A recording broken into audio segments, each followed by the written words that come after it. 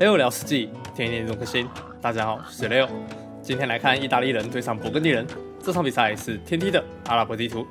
OK，先来介绍一下蓝色选择的文明是意大利人哦。那意大利人最大的特色是它升级时代哦，这个资源呢是比较便宜的，而且它的火枪火炮呢也很便宜哦。那除此之外呢，意大利人哦，它是全能型的文明哦。帝王时代可以出佣兵，三级。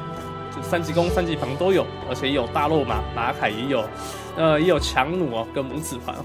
所以整体来说，意大利是一个很适合新手去练的一个文明，因为没有任何的经济加成哦，对于打这个基本功呢会更扎实一些。呃，这位玩家呢是命哦，是香港的顶尖选手哦。之前一直把他搞错了，不好意思哈。呃，这位香港顶尖选手命呢，他这次选意大利哦，感觉会擦出点火花，而且我也很想看哦。好，每个人的意大利的感觉是怎么样的？好，好，那我们来看一下勃艮第人。那勃艮第人最大的特色呢，是他的骑兵单位的这个科技呢是半价的啊。所以它的游侠跟轻骑兵哦，这些升级哦，半价的关系哦，所以我会把它称为速成游侠，价格非常便宜，很快就可以点上了。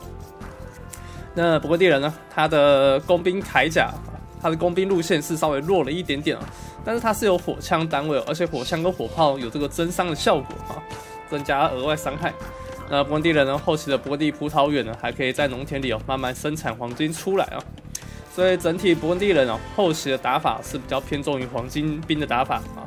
那他也有落马可以用，但我是觉得勃艮第人的落马并不是非常的重要，因为他的落马呢是没有品种的关系哦。所以最后呢，还是要打游侠跟马上轻装兵哦，还是更为重视的东西啊。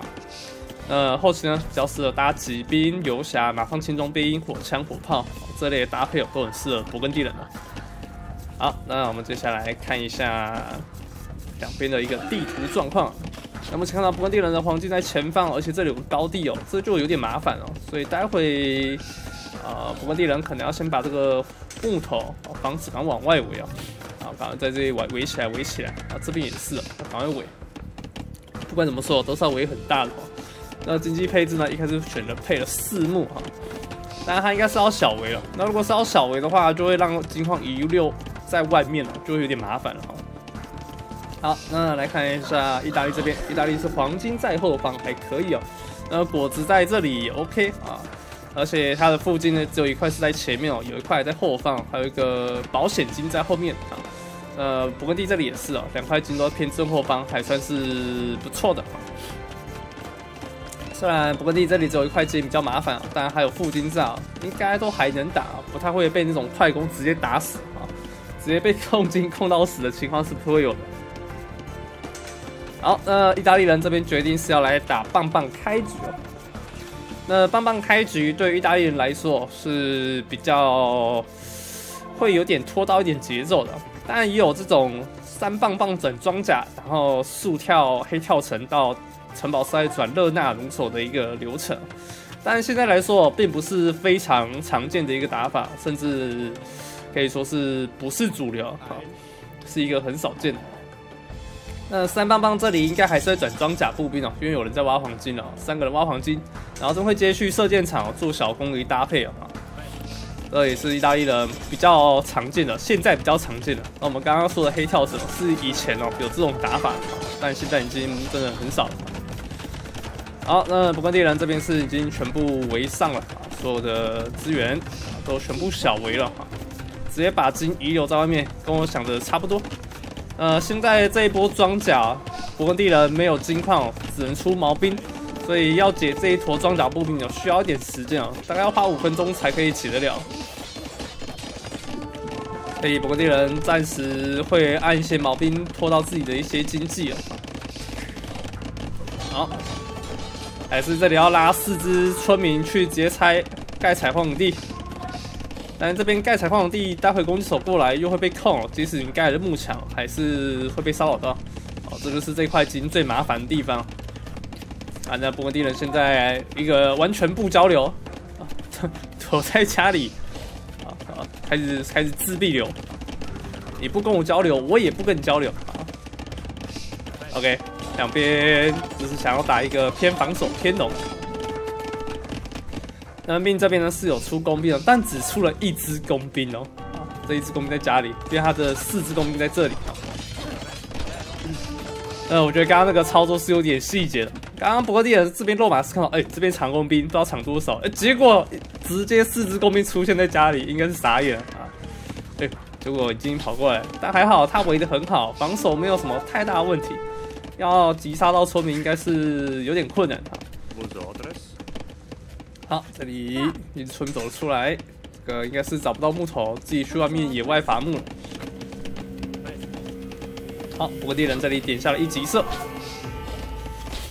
哦，这个装甲步兵可以回头砍哦，要吗？回头一下。好，再退一下。好，本地人这里点下了轮轴技术。金矿的部分呢，还没有去开挖，是时候了吧？是时候了，是时候了。好，装甲步兵再回头，好砍这些毛兵。像意大利人很希望可以控住这一坨木头。好，收掉这只肉马。好，追上去砍个几刀，哎呦，瞬间收掉装甲步兵。命的工兵数量来到了七只哦。那我是觉得正常打法来说的话，不要把这一坨工兵送掉啊，尽可能到城堡时代身为奴兵哦。有十只工兵的话，在城出那一步是可以击杀到非常多村民的啊。呃，命这边应该是要先保存实力，然后转出肉马去解决这些毛病。呃，不过猎人这边拥有经济科技提前一个时代升级的特性哦，封建时代可以升级手推车二级伐木。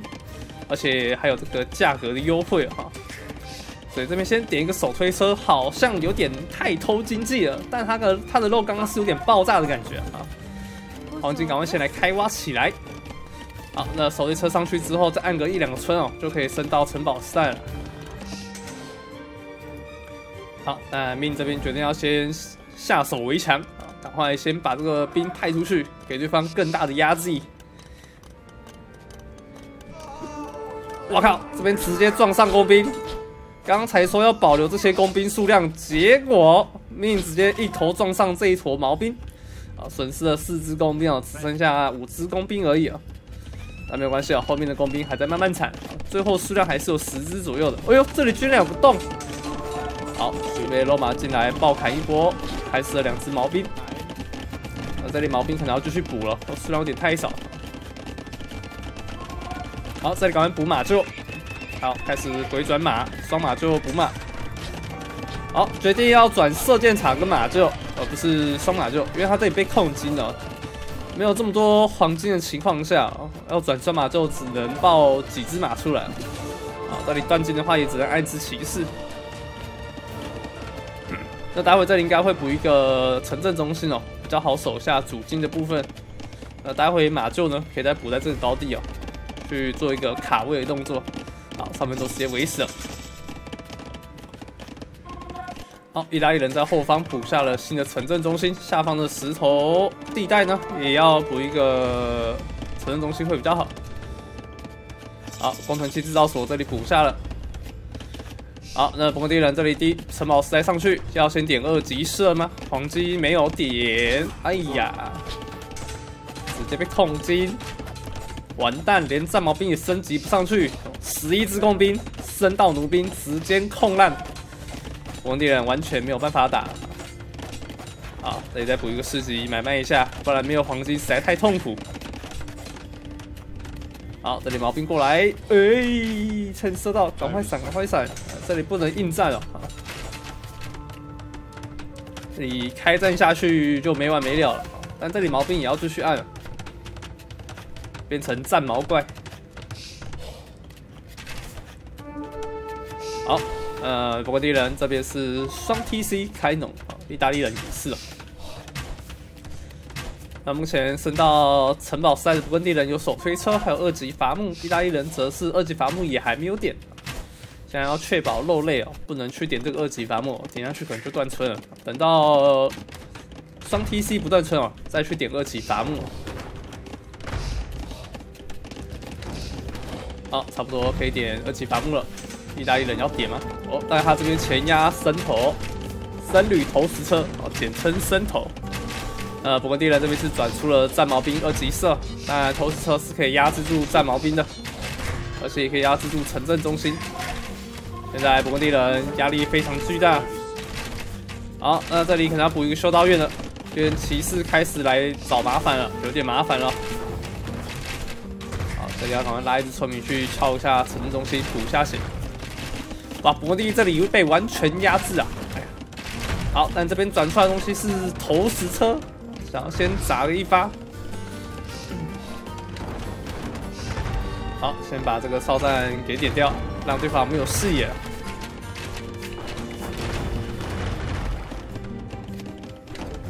好，意大利人这边继续农，第三个 TC 待会要补下喽。好，后面补了一个修道院。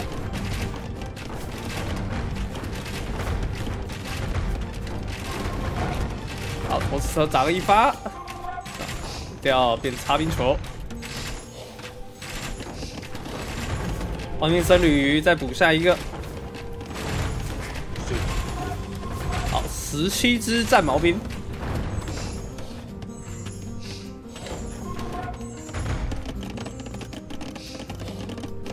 下两边的这个 KD 啊，我们想看到。这里只被拖到了一村哦，博地防守还是做的不错的，但这个投石车的数量好像有点多啊，四台投石车，好，果然鬼转僧侣一波转出了救赎思想，这里不靠救赎思想的话，真的很难解，一定要靠僧侣。啊，当然投石车也可以秀，但我们刚刚说这个高地哦，真的很难解。人家高地优势，你砸他就算正中红心哦，他也不会倒。但是你被打到一发，你会倒的哈。所以这个秀投子车的压力哦是更大一些的。但救赎思想加上神圣思想，好，那来拉过来处理一下。这样投石车砸一发僧侣哦，僧侣也不会倒。所以僧侣防守投石车这个战术是其实最优解。当然，你也可以用骑士啊，或者是大量枪兵淹过去哦，也是可以考虑的。那对方这个组成哦，你要硬 A 的话，你自己也会损失太多兵力啊。那你要以小博大的话，僧侣是最好的选择。好，我车过来。好，没有办法，擦边球。蒙地人这里直接被换掉了一台，但上面有一台投石车也被换掉。魔帝在手点下了宗教狂热，好，弓箭铠甲也升了上去，直接用战矛走到你家。那命看到这个情况，应该会非常开心哦。哎呀，战矛来我家，我点个一级马凯骑士拉回家防守，好，把他拉回家防守。哇，这个城镇中心直接弃守，也不用这个僧侣哦，去直接硬招降对方的工程器，直接把城镇中心往后开。好，意大利这边黄金有点挖的太多了，好，被收掉了一村。好，战矛兵收掉两村。啊，当然，热射兵打村民输效率真的没那么好啊，贴的这么近，只打掉两村。啊，好，投石车这边在互换，哇，这边换掉了最后一台投石车，换掉两台，最后的投石车想要用僧侣救赎思想。加上宗教狂热可以追上投石车特性，招强的时候回头打了一发，哇，没有打到，直接回头被工兵爆射一波射掉了。这一波战矛兵是没有办法来救援的，因为数量太少。好，那对方家里的战矛开始也要被骑士给追杀了，直接走到城镇中心里面，想要偷点一些村民，因为被骑士贴上去，赶快偷点一些村民比较赚。但是我们早就已经收村了，骑士很努力去解掉这一坨，但是还是被收掉了一村。给了去攻击，可以再拿一村吗？可以，哇，这一波交换起来，意大利人有点亏了。啊，村民数稍微被拉近了一点点，七十三对六十八村，但战矛兵损失这么多，也没到赚，就就是稍微平衡一下啊。好，那伯地损失了自己的野外的战矛兵哦，家里要赶快补一些战矛。那 TC 的部分哦，待会也要再开一下，开在这个金矿处的地方。是哦这个这个这个地方是不能开城镇中心的啊。好，那目前伯地人经济是四十二七十二村对上意大利七十七村啊，两边的经济状况是差不多的，但伯地这边有经济上的优势哦。手推车跟这个半价科技啊，好像不是半价，好像是减三三 percent 而已。那国地人这边的打法还算是偏防守型的，并没有想要主动进攻的意思。好，后面补下了一个军营。那意大利这边呢是想要乘胜追击啊，拆掉了一个城镇中心，然后就去补了一些兵啊，往前走。但工兵的数量一直没有补，但有十支数量也够了。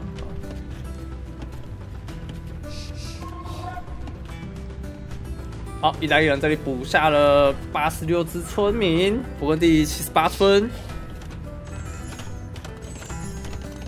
勃艮第这里点下了护卫技术、重装长枪兵跟步兵铠甲。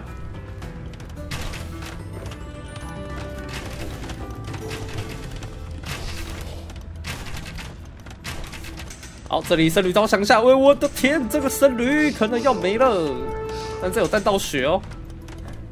毛兵丢的很准，OK，用掉弹道血收拾掉了这一个轻骑兵。呃，勃艮第这里是补了铠甲之后开始整重枪，等重装长枪兵想要直接戳过去。好，开始招降。好，僧侣直接被点，来一发弹头车直接正中红心，砸掉了战毛兵啊！而且这边是高打低啊，这里有高地优势哦。但这边工兵也是直接上前去硬点了僧侣，但投石车这边被被招降掉，直接被后方骑士暴打一波。那对方意大利人也是想要招降敌方的工程器，工程器这边要制敌了吗？勃艮第人这边有看到吗？临死之前投个一发，然后制敌掉。这边操作细节做的非常好，意大利这边直接被反推成功。哇，勃艮第这一波的僧侣招降操控细节做的很好啊。好，虽然解掉这一波，但是意大利人早就已经点下了帝王时代四 T C 开农，经济实力非常强大，村民数已经领先了二十寸了。这里赶快补城镇中心了啊！这里要赶快再补一个城镇中心。好，这是搞到四 T C 开农，我是觉得现在开四 T C 开农上去好像也没了，因为对方神帝王时代已经有领先了，价格便宜嘛。好，但不管我这边就是要去捡生物。但这边生物是没有看到。好，两只僧侣照想下野外的村民。好，意大利人这边直接用骑士想要溜到城镇中心附近，直接抓村民。但僧侣离的城镇中心有点远，要赶快回救一下了。好，那意大利这边也是在偷偷捡生物。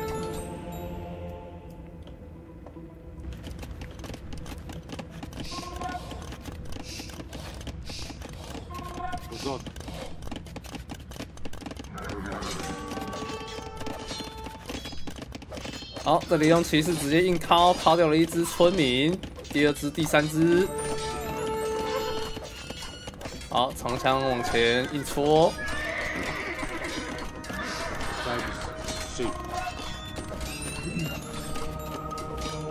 OK，全部戳掉，将骑士的问题解掉。好，整出了冲车，帝王时代也补下了三 TC，不知道开到第四个 TC 呢？利用 style 补 TC 对经济很有帮助哦，这里蛮适合补一根城堡，刚讲就补，毕竟这里很多敌方的建筑物哦，这里补一个城堡控住主心哦更为重要。然后下方的僧侣直接被落马爆砍一波，但是最后落马也被招降掉了。好，下方视野目前是不过地人这边控的更好，意大利这里可以再考虑补一个新的城堡作为防守。然后进攻上面的矿区哦。好，意大利人这边转出来的东西是热那弩手。那地龙时代地龙初期呢，也可以转出佣兵哦。所以意大利人这边是先转出了步兵铠甲，先打一波佣兵爆。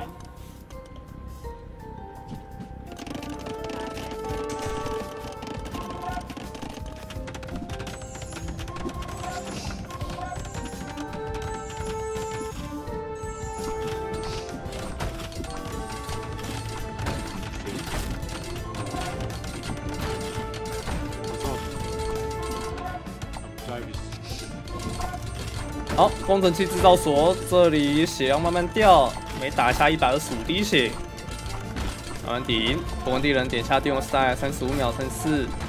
好，银冠技术，伯温第葡萄园也 up 上去了。好，下方的佣兵开始绕。好，意大利这里点下了三级的步兵板甲跟三级弓跟纵火技术。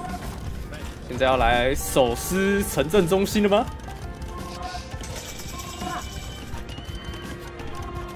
伯地人这里是，哎呀，开始被爆砍了。佣兵最麻烦的地方是，他移动速度很快啊，比骑士稍微慢一点点，但又他不怕枪兵，这你要赶快鬼转火枪哦。哇，佣兵直接上来硬敲，但佣兵打火枪伤害也很高哦，因为佣兵是对火枪额外增伤效果。好，前方的长枪兵完全打不赢佣兵，佣兵直接爆砍一波，长枪兵只能往后瑟瑟发抖。后面补了一根城堡稍微可以挡住这波的佣兵爆。马上轻装兵开始来防守，好，可以顺利夹住，但是村民数损失有点多了，村民差距已经被打出了大概快要三十二村左右。好，意大利这边回转一波长剑兵，纳尼？好，后面僧侣大队直接应招，招到了几只僧，呃，这个佣兵的数量。直接正面击溃对手。哎呦，没有想到这个僧侣招降有点梦啊！哦，这个手速好快啊，招了蛮多只的。好，后面补下了魔防。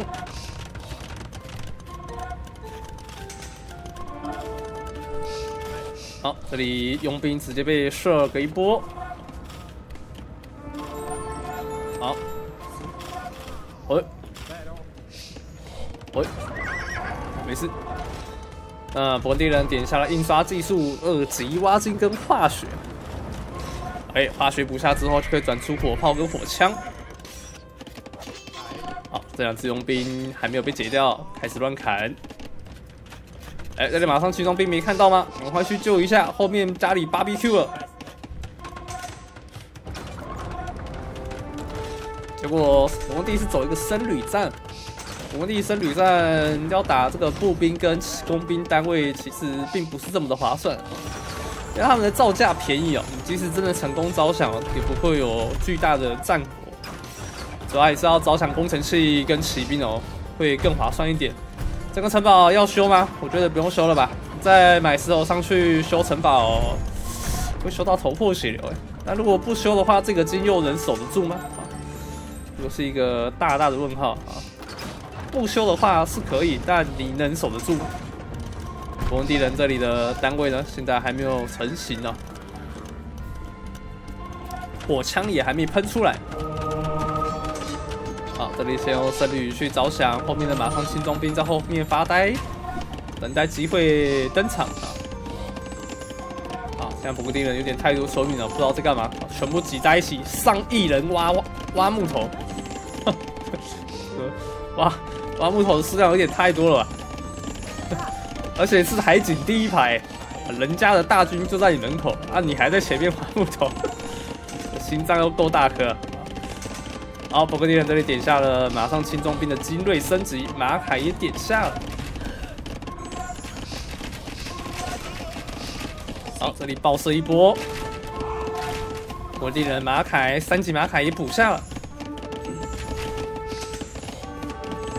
好，这里用冲车往前顶，上方的马上轻装兵防守很到位，OK，有收村。轻骑兵上前直接把冲车给点掉。OK，意大利人这边要不要先回转一波大肉马？哎，这边直接站上高地吗？站上高地再反击。好，但自己的兵量有点少，马上轻装兵数量已经有三级马凯的关系，像抗箭时效果非常的优秀。前方战矛兵继续往前推进，想要继续攻击后方的热那亚弩手，热那亚弩手直接被推了回去。这里马上轻装兵数量一直往回推。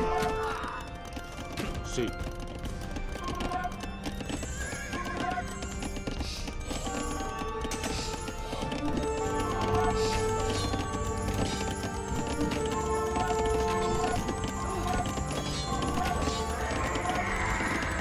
好，这里在补血。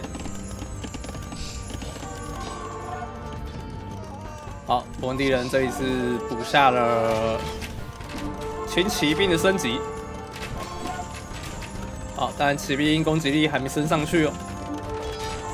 战矛兵可能要继续按。OK，哇，没有三级射，手有点短。好，三级射赶快补。这里只有战矛才能拯救世界了。好，但也有火炮哦，有火炮的话也 OK。哇，直接气饱，然后硬夹，对方巨型投资机就没有办法继续抽取黄金了。所以如果一直修下去的话，伯地人可能会为了修城堡去买石头，反而让自己的科技啊或者兵力哦没有办法继续往上增强哦。那如果是用这种方式，用军事直接硬补，反而对伯地人真是一件好事哈。好，换我们这一坨轻骑兵有点麻烦。这边僧侣没有第一时间被十级吗？要吧，看到僧侣不打，轻骑兵支持哎。OK，轻骑兵直接上去贴，贴爆这一坨僧侣。OK，好，这时候意大利人大罗马也升级了上去。哇，意大利人这里很麻烦，步兵、弩兵什么都有。温拿弩手，攻击六加四，额外增伤效果很优秀。打马上轻装兵伤害非常好，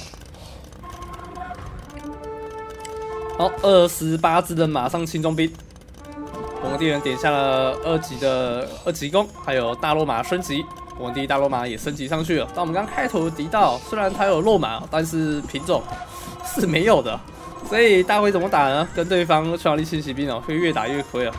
所以，我不太确定升大罗马是不是好事哦。但以现在这个状况来说，待会有可能有断金的可能性哦。好，先生跟大罗马打消耗战，好像是可以预见的未来。而且勃艮第人的农田哦，也会慢慢产生黄金。只要有捡到些圣物，再搭搭上这个勃艮第葡萄园哦，黄金的产量应该是会优于意大利人的。那意大利人呢，可能就不能跟对方一直继续拖下去哦。好，赶快去把这个野金哦给控下来。好，那目前两边呢都在远处交战。那意大利人已经觉得很习惯，你总不盖堡了，你不盖堡我就不能用巨头攻城。结果这边直接用巨头想要砸火炮，但火炮没有被砸到。哇，这里火炮闪躲了巨型头实际的伤害啊！好，火炮直接上去硬开炮，打两发，但是没有被打到。好，大罗马也上前，第一时间收掉后方火炮，但前方的巨型头司机马上轻装兵上去。一阵爆砍，但是后方热那不头伤害实在太高，马上轻装变数量只剩下十只，后面大罗马完全把后方的单位给打爆了，战矛兵打大罗马完全溃不成器，马上轻装兵赶快回救，用正面的战矛兵去应付热那弩手，这一波交战打得非常漂亮，我们敌人有有一点机会可以反打了，下方这边挖石部队直接挖开挖起来，啊这边大罗马有看到，你怎么在我面前挖石头？好，这时候马上轻装兵也是有到处在骚扰的哦。好，大罗马这边再回救一下。好，让两只手挤掉。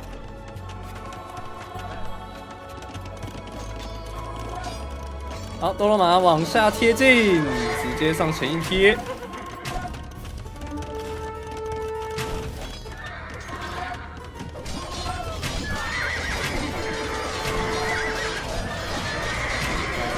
好，战矛兵开始往前。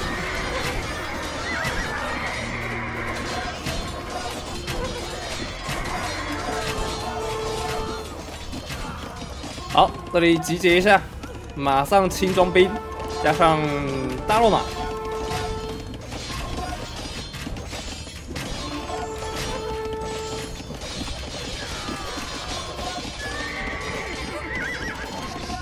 好，这里贴光，把大罗马给逼走了。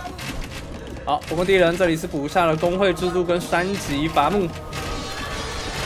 我们也扔下弩手开始反击回去，后面战矛兵开始攻击。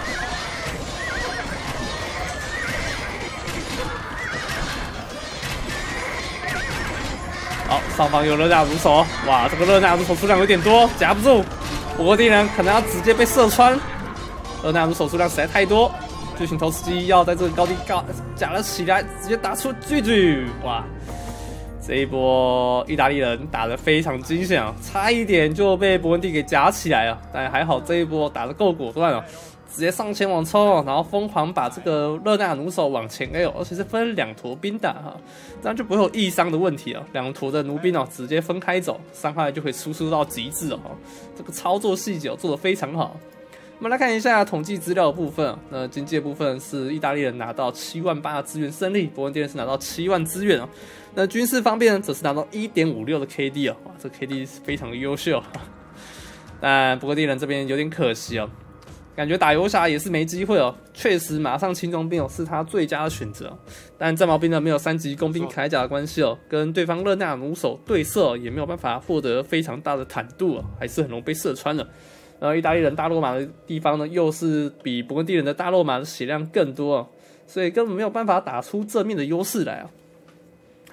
好啦，那我们今天影片也就差不多到这喽。那如果喜欢这部影片，请记得帮刷订阅，我们就下次再见喽，各位拜拜。